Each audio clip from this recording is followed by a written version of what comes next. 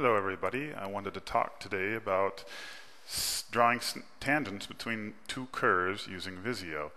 Now a lot of people use Visio for creating org charts and flow charts and network diagrams and they're used to connecting shapes together with lines that you would see in process flow diagrams and such.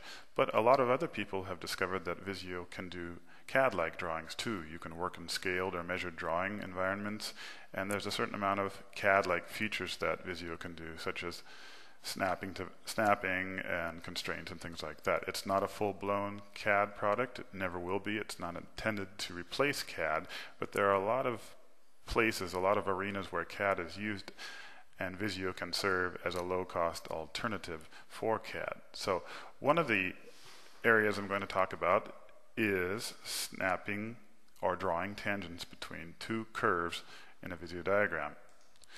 Now, if you have a bunch of circles here, say you wanted to create a, a, network of pulleys, it's easy enough to draw the circles and center align them and everything with Visio. Pretty standard alignment features. You can use the cir circle or ellipse tool to create the circles.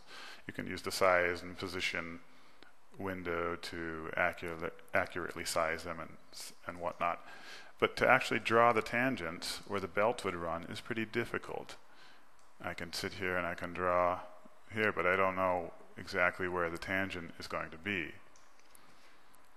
It turns out that Visio has a whole set of snap and glue options that allow us to snap between tangents. It's just that most people don't know where it is, they've never seen it, and even if they turn it on, they don't know how to get it to work. So let's start by doing that. First thing we need to do is go to the Tools menu and click on Snap and Glue to set some options. Let's bring that over onto the screen so we can see it. The most important thing we need to do is make sure that drawing aids are turned on and that we're snapping to sh shape geometry so that we can get the point on the perimeter of the curve and that we're snapping to shape extensions. For those who do a lot of technical drawing, I urge you to check out the Advanced tab. There's a lot more features under here. Center alignment, uh, midpoints, all sorts of extension, snapping, perpendicular things, and, and, and the like of that. I'm not going to go into that in much detail today because you can see there's a lot of options here.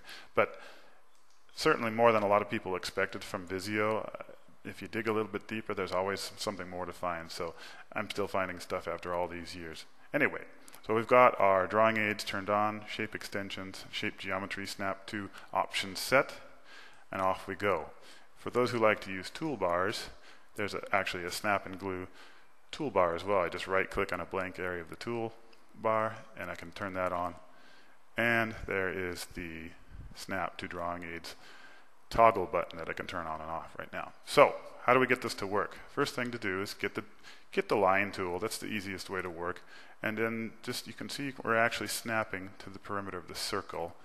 If I just click anywhere, you can see I'll get a I can snap to a horizontal line. That doesn't do, do us much good, but if I come back to the base here, I actually get a tangent line. And as I drag my cur cursor along that tangent line, I get a red line. And that red line is sort of a dynamic tangent. You can see it's no matter where I move the cursor, that tangent's staying with me. And as I get close to another shape, that tangent line turns blue, and that tells me I've got a, a tangent to tangent line drawn between two curves. Really handy. So you can see that looks pretty good. I'll start up here too. One danger is that uh, you'll get you'll snap to a 45 degree line, which looks like it's a tangent, but it's not. You can see here if I come down here, I'm snapping here. It looks like I'm snapping to a tangent, but I'm not getting the red line. That's because I've actually snapped to a 45 degree extension. Visio supports vertical and horizontal and 45 degree snapping, so Visio thinks, oh, maybe he wants to draw perfectly 45 degree line, but in this case we don't. So just come back a little bit closer till you see the tangent, rub along that, and you can see we can come over here and create the other pulley. I'll snap to the small circle, drag along the tangent here, snap to the big one, and we've got a nice system of pulleys there. You can also do it, it doesn't have to be circular arcs or circular curves. You can have any arbitrary, I've got a free form curve drawn here. Just pick any point along there rub, rub along. Into, again, we've got the 45 degree tangent, so let's come back, reset, get a real tangent.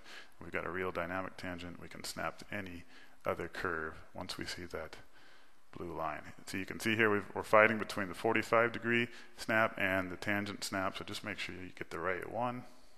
Once it turns red, we're good. Oh, we had a little bit of a surprise there. If you get the wrong thing, just delete it and try it again. There we go. That's a little bit better. If we zoom in a little bit, you can see that these curves do indeed look quite tangent to the curves that they're snapped to. And let's just summarize what we talked about. So there's two ways to get our drawing aids turned on. We can either go to the toolbar right here and toggle the snap to drawing aids button on and off, or we can go to the tools snap and glue menu and check the drawing aids option once we're inside there. Then we get the line tool and just snap to the perimeter of any curve and start dragging till we see the dashed tangent extension line. We rub our cursor along the line a little bit until we see the red line here. That indicates we've got sort of a live or dynamic tangent that's just waiting to be positioned properly. And then we drag up against another curve. Once we see the blue line, we know we've got a tangent between two curves. So there you have it, a little bit of CAD knowledge, a little